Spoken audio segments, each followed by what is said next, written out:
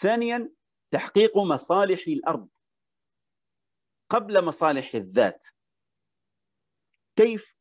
الله سبحانه وتعالى لم يخلق هذا الكوكب للإنسان.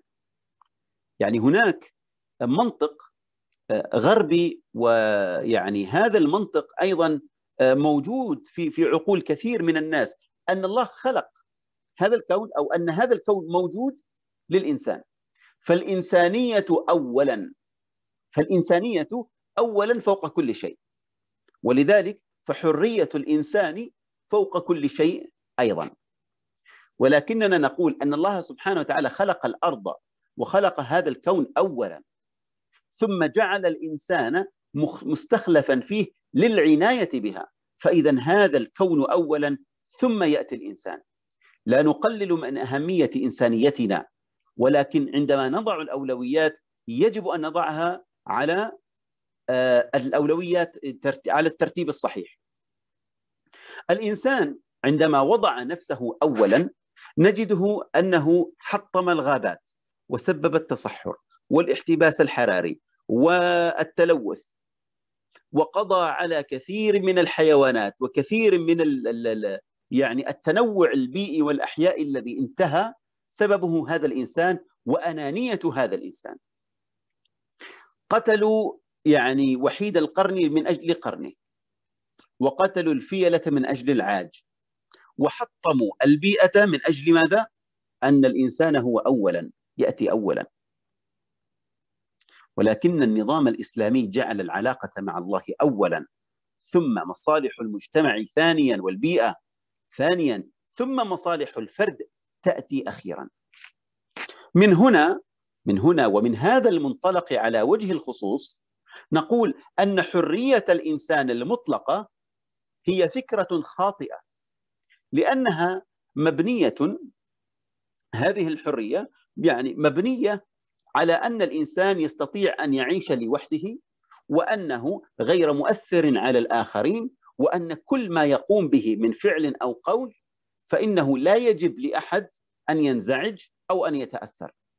هذا في الحقيقة مخالف تماما لنظم المجتمعات الإنسانية القائمة على العلاقات والتعايش المبني على المصالح المشتركة والمبني على المصير المشترك.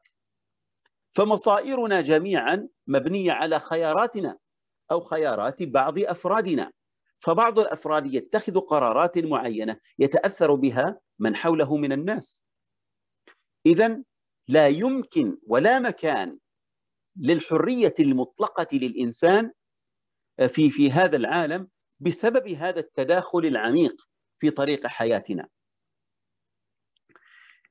الحرية المطلقة تعطي الأولوية للإنسان وللفرد.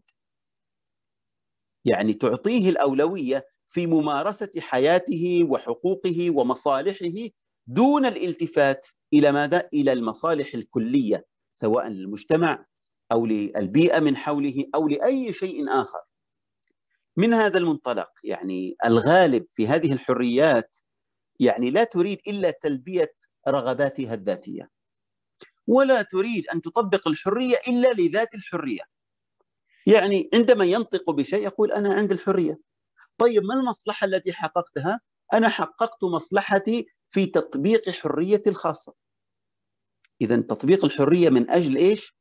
لا لأجل سبب إلا من أجل آه، يعني تحقيق مصالح شخصية. أو لذات التطبيق أنا ما عندي آه، ما عندي سبب يكفيني سببا أن عندي الحق. نعم إن الله سبحانه وتعالى خلق الإنسان وعنده حرية الإرادة. وأفضل ما يتميز به الإنسان أن لديه حرية الإرادة. ولكن حرية الإرادة هذه لا تعني بأي حال من الأحوال أنه يصح لهذا الإنسان أن ينفذ كل شيء يريده في أي وقت يريده لأن عليه أن يراعي مصالح أخرى.